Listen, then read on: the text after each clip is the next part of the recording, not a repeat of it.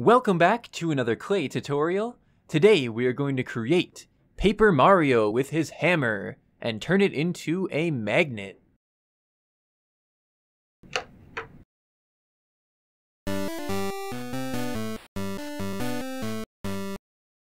After seeing the trailer for the new Paper Mario game coming out, I knew I wanted to create something from this game or from this series. And what better way to create Paper Mario than using a paper cutout? As far as actually playing the Paper Mario games, I like the Nintendo 64 and the GameCube one the most. I played some of Super Paper Mario, and although it is a good game on its own, in the spectrum of being in the Paper Mario series, I feel that it's not a very great addition. They took away the same battling system that's in the older ones, and to me that's kind of what made the game great. I like this turn-based battling system the most. I'm not too sure about how the battling works in the newest one, that's the one coming out for the Switch, but I guess we'll see.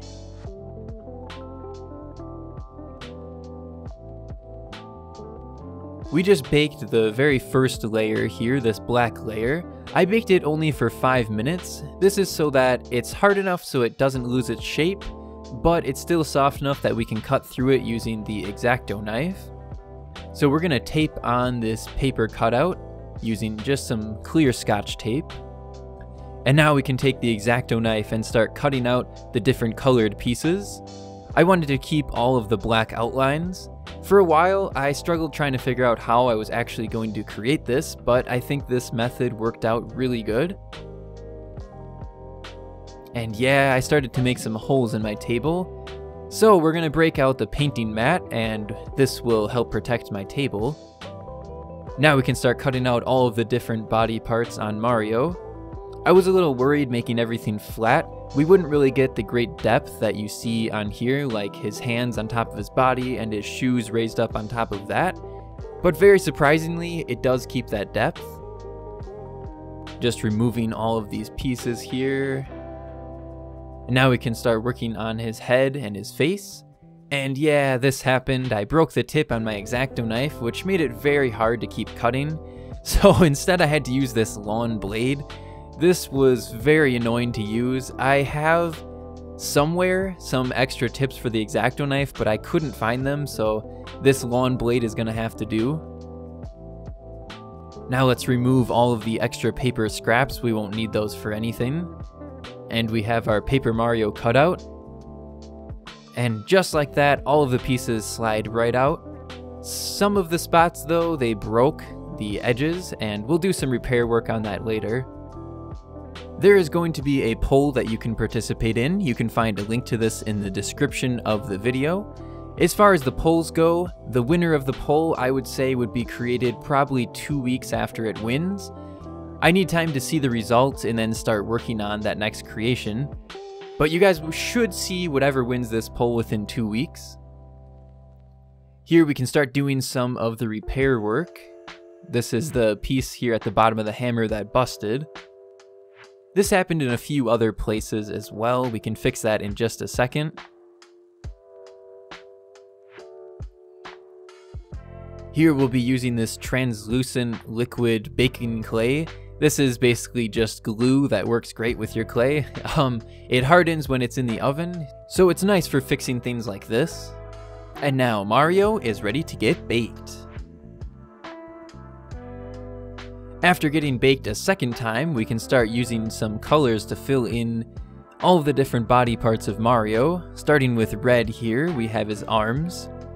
As I was doing this whole part, I kept thinking, how much it looked like pancake art. I don't know if you guys have ever seen that before, but it's pretty awesome. Now we have the red part on the hat up here. As you can see, it's starting to get a little bit messy on the black parts. And as we use some other colors like white for example, that gets really, really dirty. And I will show you guys finally my secret of how I clean up my clay. I've actually got a bunch of different comments before asking how I clean my clay or how I keep it so clean, and honestly, the truth is, it never stays very clean. It's really, really messy every time I make something, especially with white. You can see all of the different colors and flecks of black in there. So very soon you guys will see the secret of how I do that. Working on the shoe here, we'll use this paper cutout to get the perfect shape for his shoe. Now I want to create some more Paper Mario characters, I think. Um, you guys could let me know in the comments what I should create. This will also be one of the things in the poll, so make sure you participate in that to help decide what we'll be making next. Here we have the black outline around this inner shoe part. I think this shoe is actually probably my favorite part of Paper Mario, just because there's so much detail in it and it just looks so nice. Now for the final step on his shoe, we have the little crack between his heel and the regular part of his foot. These little spots on the hands. And now we can just drop some clay onto our sculpture and it fills in by itself. This was very nice, it made things go a lot quicker. I don't know if you can really tell too much, but so far we've used six different shades of brown, and there's also two more for his face, there are so many different colors of brown on him, and I really wanted to make them stand out separately like they did in the paper cutout. I tried to match everything as good as I could.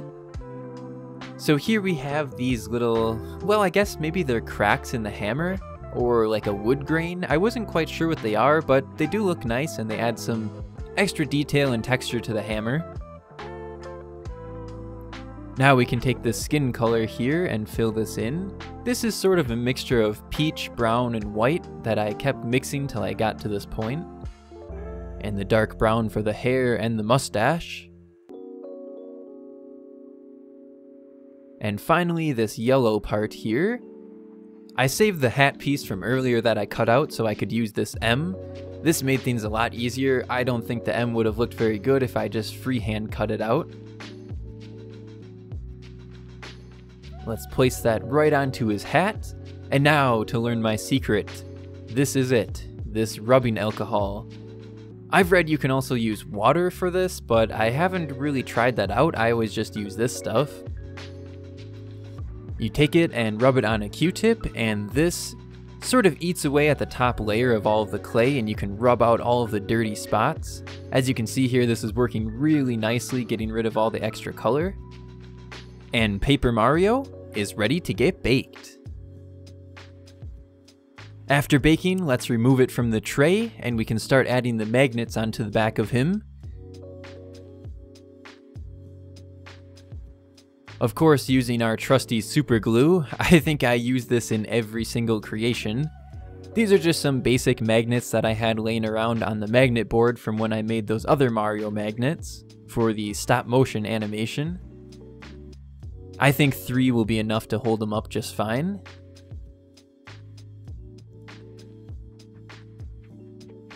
And here it is, guys! Paper Mario!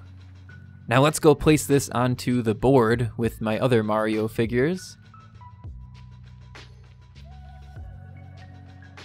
I hope you all enjoyed the creation of Paper Mario. It was a lot of fun to create and a good challenge, and it's nice to finally add something new to that Mario magnet board. Don't forget to subscribe if you haven't already, and also check out the poll, you can find that in the description of this video. You can help decide what will be created next, and I will see you all in the next one.